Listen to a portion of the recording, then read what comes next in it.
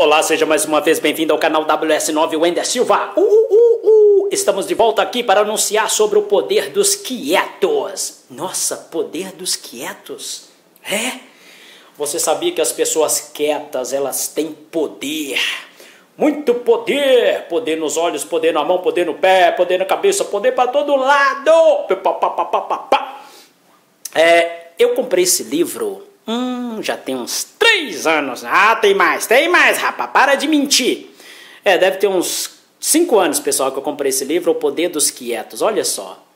Como os tímidos e introvertidos podem mudar o mundo que não para de falar. O que, que é isso, Wender? Que besteira é essa? Que palhaçada é essa? Que mundiça é essa? Pá, não sei o quê. Você fala demais. Você está ganhando quanto, Wender, para poder falar desses livros aí, vender? Eu não estou vendendo livro, eu não estou ganhando nada. Eu só estou aqui no puxa-saquismo. Só estou puxando saco mesmo. Não estou ganhando nada. Esses caras não estão me pagando nada. Eu estou aqui puxando saco. Deixa eu falar, o poder dos quietos. Como os tímidos e introvertidos podem mudar um mundo que não para de falar. O que, que é introvertido? Introvertido, para quem não sabe, são pessoas tímidas. Elas são introvertidas, são pessoas tímidas que gostam de ficar no quarto, no computador, não gosta muito de grupinhos para ficar rindo da cara dela, dizendo que ela é bestinha, palhacinha, muito quietinha, muito mimadinha. Então essas pessoas são as pessoas introvertidas. O que, que é extrovertida?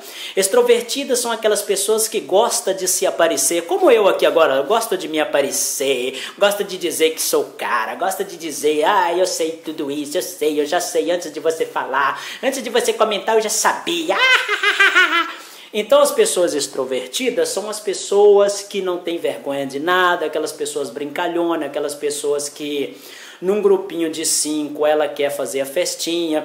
Então são pessoas extrovertidas, pessoas felizes, pessoas tranquilas, pessoas que sorriem com mais facilidades, pessoas que brincam, pessoas que puxam as piadas e daí por diante.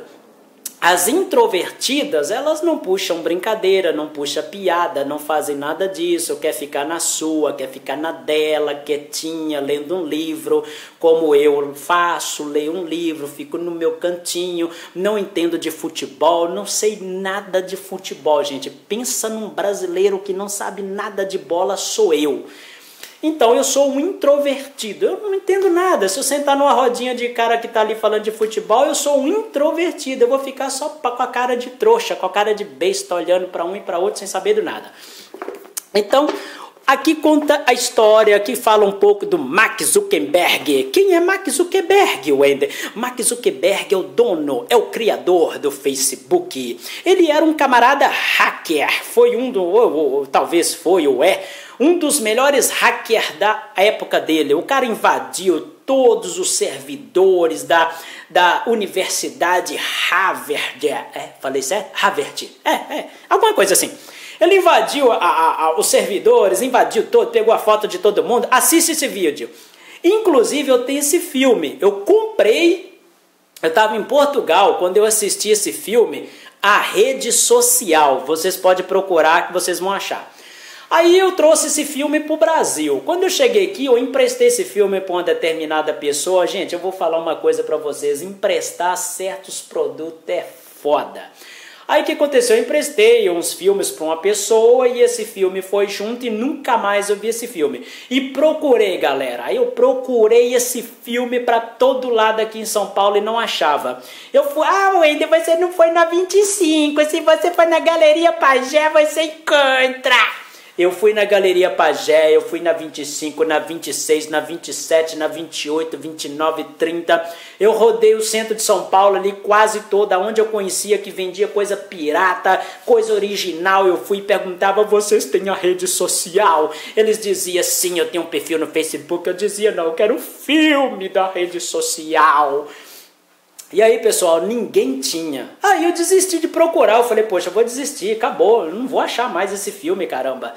Mas um dia eu fui assistir um filme lá em Tapicirica da Serra. Olha só que cômico. Aí eu fui assistir um filme em Tapicirica da Serra. Quando eu cheguei dentro da loja Americanas, no shopping, Quando eu cheguei dentro da loja americana, fiquei ali passando os filmes ali de besteira, até dar o horário da, da minha sessão de filme começar. Aí fiquei ali passando os filmes, quando eu vejo lá, está lá a rede social. E eu comprei o DVD, tenho ele até hoje. Na época eu paguei 19 reais. Eu paguei caro, mas eu paguei porque eu queria guardar e falei, não empresto a ninguém nunca mais. Eu tenho vários DVDs em casa que eu não empresto, não empresto, tá guardado ali. Vezes e outras eu assisto rede social, vezes e outras eu assisto a, a biografia, a história de Jobs. É, Piratas do Vale do Silício, eu tenho vários DVD da história desses caras, em DVD, tudo guardadinho ali, não empresto mais de jeito nenhum. E aqui nesse livro conta a história. Mark Zuckerberg era um introvertido. Ele era um cara que ficava na dele, era um hacker número um da época dele, mas ele não, não, não, não gostava de amizade, não relacionava com as pessoas. Foi por isso que ele criou o Facebook, para ele ter amigos na, na internet, para ele ter amigos no site. E aí aquele negócio começou a evoluir, evoluir. Hoje o Facebook, quem não conhece o Facebook, poxa, quem não tem uma conta no Facebook não existe no mundo. E, e, fala também do Bill Gates, era um cara introvertido. Fala de muitos outros homens e mulheres da nossa atualidade que são pessoas introvertida, mas são pessoas que mudaram o mundo, são pessoas que mudaram a nossa geração, pessoas que com a sua introvertividade, elas conseguiram mudar o que os extrovertidos não faz. Às vezes o, o extrovertido, ele perde mais tempo brincando, jogando, fazendo piadas, aquela coisa toda, os extrovertidos faz e o introvertido ele é mais concentrado naquilo que faz. O introvertido ele pega um livro, ele estuda o livro, ele não lê, ele estuda. Ele no, tudo dele é mais centrado naquilo que ele está fazendo e por isso o introvertido ele tem mais sucesso do que o extrovertido. O extrovertido, ele ganha um dinheirinho e já quer gastar com festa. Eu quero balada, eu quero beber, eu quero isso, eu quero fazer aquilo outro, eu quero pegar muita mulher, muita menina bonitinha, novinha, e papapá, eu quero fazer o escambau essa noite. Aí o que que acontece, meu cara? Ele fica velho e fica na merda. E o introvertido, ele pega o dinheirinho, põe na conta bancária. Quando ele descobre que o apartamento, o apartamento de 100 mil está vendendo por 40, ele vai lá e mete o 40, ele faz um investimento. E quando você assusta, o cara tá na bonança. Andando de helicóptero, andando de Ferrari. Quando você vê o cara tá lá, você fala, puta que pariu, mas esse cara era o besta. Esse cara, ninguém vê ele fazendo nada. Eu me mato, eu me ralo, eu me acordo de madrugada, eu faço isso, eu faço aquilo tudo. Porque o cara, meu, ele é um introvertido. Os introvertidos, por isso que está dizendo aqui, é o poder dos quietos. Os caras são quietinhos, então eles são poderosos, eles estão quietinhos, estão na dele, estudando, tomando conhecimento de causa, conhecimento das coisas. Então é importante você ler esse livro também, tá certo? Leia esse livro aqui que você vai descobrir sucesso de nego aqui, ó, de muita gente boa, muita gente que conseguiu vencer mesmo, com vontade, e aí você pode aprender bastante coisa aqui. De repente te falta alguma coisa para você alcançar seu sucesso. Aqui está o poder dos quietos, ok?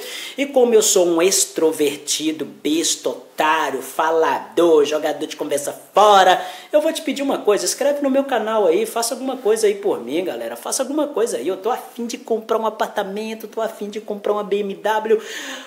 Ai, mas para isso eu preciso de inscrito. Enquanto você não inscrever, eu vou ficar aqui, ó, falando besteira no teu ouvido o tempo todo. Se inscreva aí, um abraço e tchau.